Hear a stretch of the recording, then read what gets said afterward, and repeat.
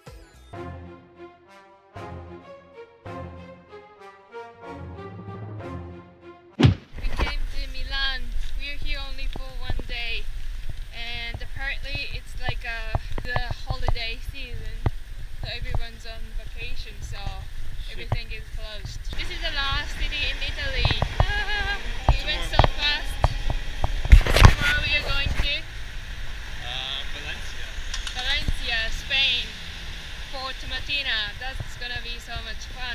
Milan, it's it seems like a bigger city, like city city, like with um, business buildings, like tall buildings and stuff. Kinda nice. So we are at Venice, Venice, Venezia yesterday. We stayed at a campsite, which was really nice. The only thing is they didn't have good internet, but yeah, campsite was really nice. It was close to the island, so Had that good woody smell. Yeah, it had a good woody. The camping was quite cool. Yeah. Yeah, but What was the name? Glamping? Like glamorous camping? glamorous camping. Yeah, we tried gondola in Venice, and the guy totally ripped us off.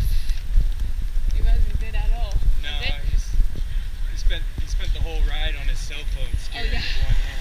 Yeah, I know. It's not worth the money. It's just, I don't know.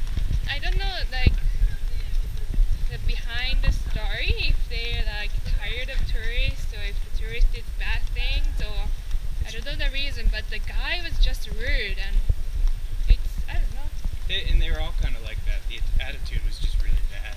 Yeah, so, But I mean, so it's 100 euros to go 35 minutes, mhm, and he tried to take us on a 25 minute boat ride, yeah, and then called us cheap when we didn't want to pay the full price. yeah.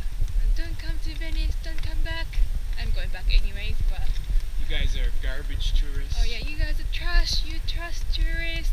Don't, don't come back. Don't to come Venice. back to Venice. He said that.